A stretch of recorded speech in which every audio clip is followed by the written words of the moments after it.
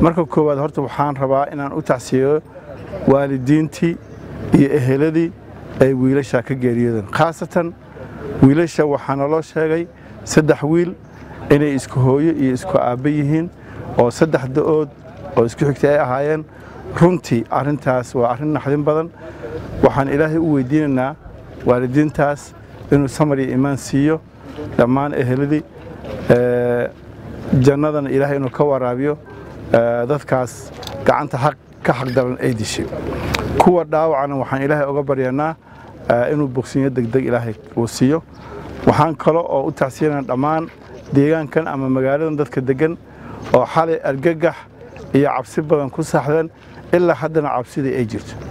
Waxaan rabaa walaalayaal meeshan waxaan aad u cambaaraynaynaa falalka foosha xun oo meeshan laga fuliyey oo la leeyahay waxaa lagu fuliyey magac islaamnimo islaamka waa diin qabow waa diin naseexo dil iyo argagaxis iyo wax la laayo islaamnimada marnaba ma ogola. Dadka ayaga runtii annaga waxaan ku tilmaami karaa dad aan diin haysan inay yihiin. Waxaana codsanaynaa raggaas ilaahay inuu naga soo qabto. Falalka ay suubana falal fiican ma aha. Waxaan ilaahay weydiisanaynaa dadkaas oo naga gadaro badan inuu ilaahay naga soo qabto.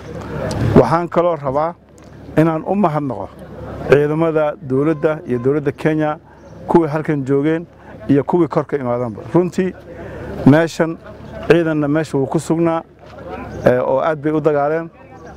Ciidan kale oo gurmada meeshan wuu imaaday. Waxaan ognahay meeshan gadaashayda ah in nimankaas falka xun wadeen laba ka mid ah inay meeshan ku dhinteen oo wixii ay maleegahayn ayaga naftooda uu la qarxay oo ayaga naftooda meydkooda meeshan loogu imaaday